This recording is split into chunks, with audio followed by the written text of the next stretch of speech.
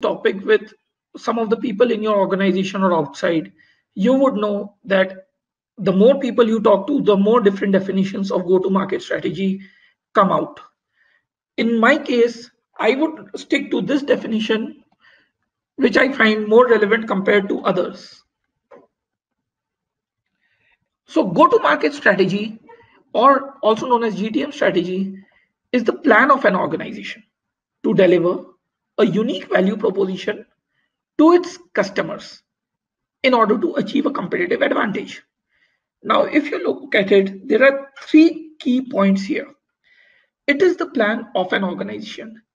That means the entire organization needs to be aligned to the GTM strategy and work according to it to deliver a unique value proposition.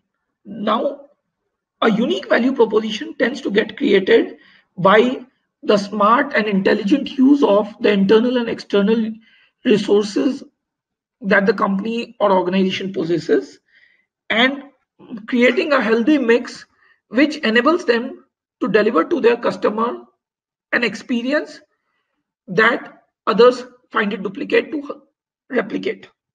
So therefore if you look at it it's not just marketing or sales or just about delivering something to the market and uh, generating revenues.